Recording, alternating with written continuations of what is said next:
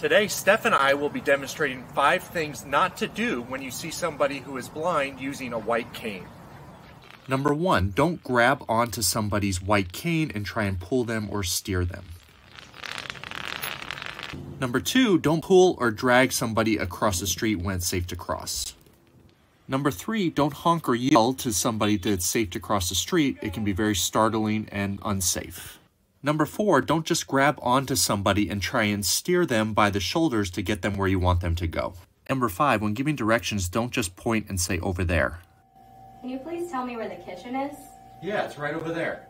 Thanks for watching and always ask the person first if they need assistance.